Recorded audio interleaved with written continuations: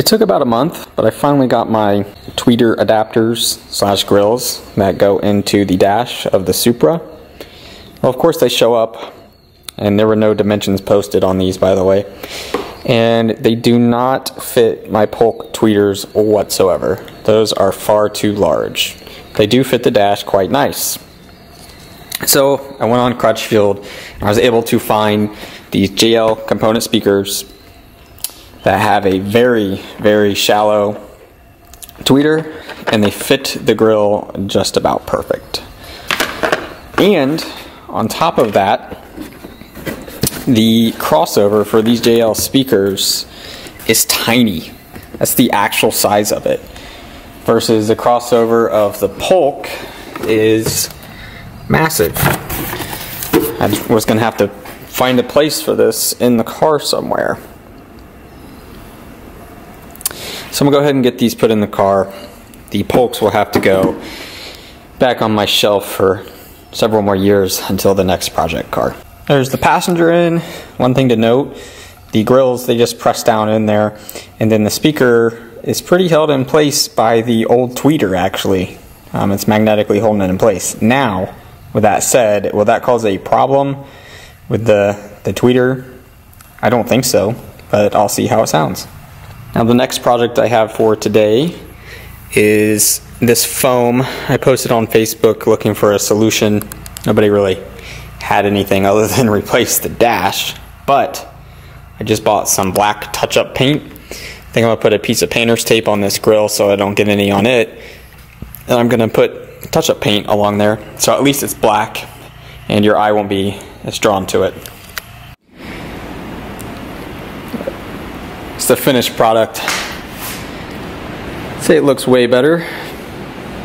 Might be the only person who realizes that the dash is swelling up there once the windshield's in it.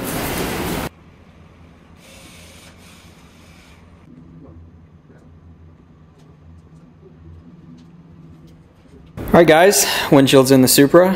So it's uh, actually been one step forward with that and one step backwards with the, uh, the engine here. If you notice, the cams are out of it. In the last video, it's probably hard to tell, but this thing had a ton of valve train noise. Um, it was really bad in person. So I decided to pop the valve covers and check the valve lash, and it was a total disaster.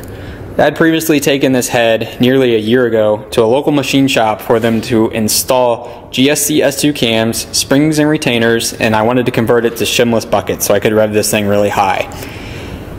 Originally, I was going to order 24 of the same size buckets and they're supposed to tip the valves.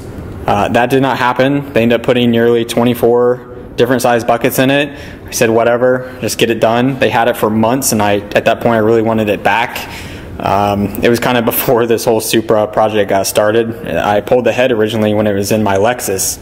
Anyways, long story short, they failed to do the job properly.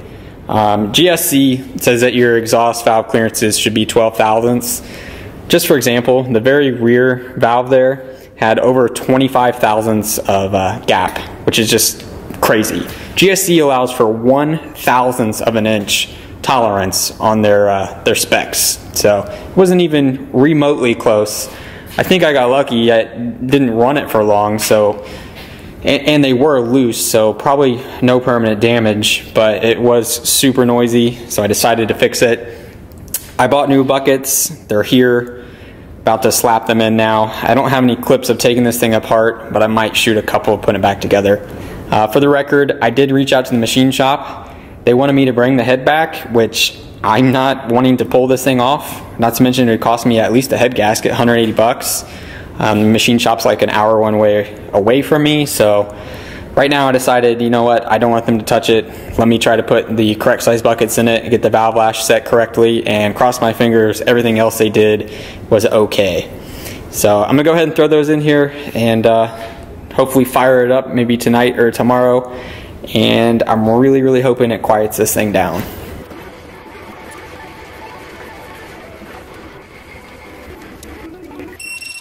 ETS intercooler just showed up. They packaged this thing really, really nice. I'm gonna pull it out of here, take a look at it.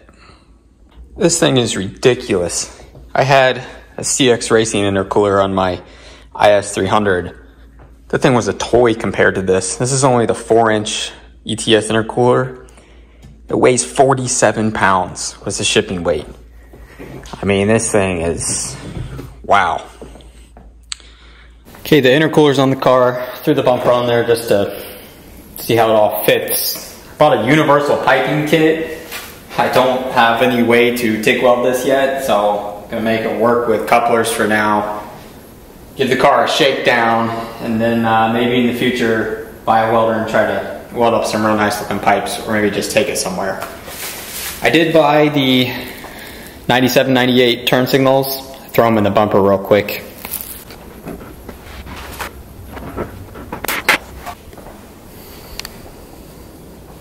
All right, I just pulled the bumper back off. I'm gonna go ahead and pull the cardboard off the intercooler and put the crash bar onto the car. So I didn't really film it because I just started to mock up the hot side intercooler piping, thinking I was gonna have to do a bunch of cutting and stuff. But honestly, just with the pieces in the box, it worked out pretty good. I'm just gonna have to cut a little straight piece for down here connect that together and the hot side will be done. So, not a whole lot of footage of that. The cold side is a whole different story. Gonna have to drill a hole here. That's a four inch hole saw. I have to come off of here and I don't know how it's gonna work, but I'm gonna get it done. The blow off valve is gonna go over here. I don't have that pipe yet. I just ordered a, a straight pipe with a flange already on it. So I guess I'm gonna cut my hole and at least get the piping down out of the engine bay and ready to meet up with the intercooler down there. Have my location picked for the four inch hole. It's pretty nerve wracking, but I'm gonna go ahead and send it. When I bought that hole saw brand new at Harbor Freight, and I would say it's about a 1 out of 10. Used hole saws before, and that thing really struggled. Go get the shop vac and clean this up.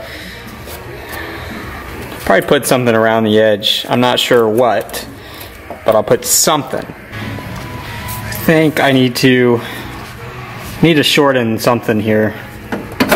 Oh shoot, it goes way up in there further. So, wow, I think that's gonna work. So that gets me down maybe a little long. So I might cut down that pipe. My blow-off valve has to go in here somewhere, so of course that pipe hasn't showed up. Haven't decided yet how it's gonna go. I just kind of put that in there just to just to see it. But I might end up coming off a 90 and having my blow-off valve maybe somewhere in here. Not sure yet. The lip just came from my bumper. The OEM lip on my old bumper got destroyed actually um, by the body shop, so not reusing it. This is an eBay lip, paid like 150 bucks for it.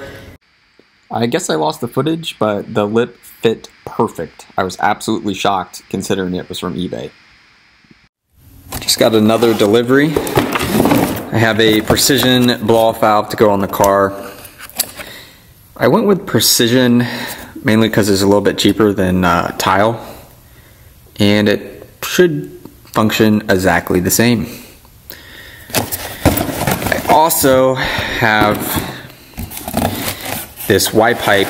I'm to delete the muffler on the HKS high power that's on the car and I have a an old QTP exhaust cutout that was actually I bent this plate. It was on my Lexus. So Supra will have an electric exhaust cutout on it. Should be pretty cool. Um, this is the HKS silent high power and it is like shockingly quiet. So the cutout will go in place of this muffler here. I'm hoping it sounds quite a bit better just with this muffler deleted, but we'll see. All right, I'm about to throw the bumper back on the car. All the intercooler piping is done. The blow valve is down there. I think, you know, the portion that you see here in the engine bay looks pretty good. And I'm not saying it looks terrible down below either. I do wish I could weld all of this, but just wasn't in the cards yet.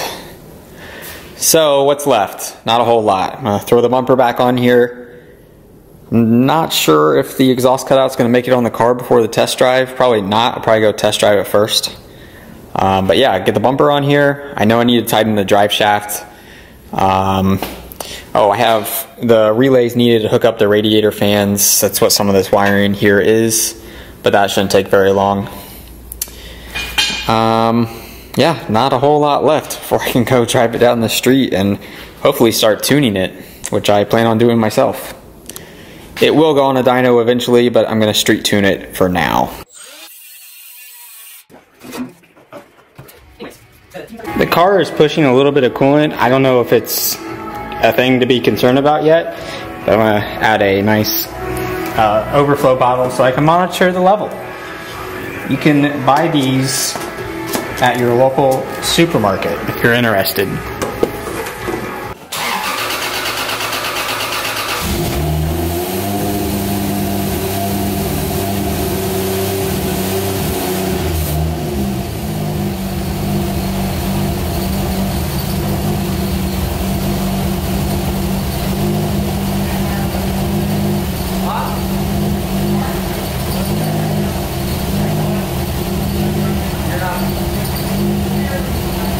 Went to go test drive the Supra last night and it didn't make it off the lift because the clutch, it disengages almost all the way, but not quite.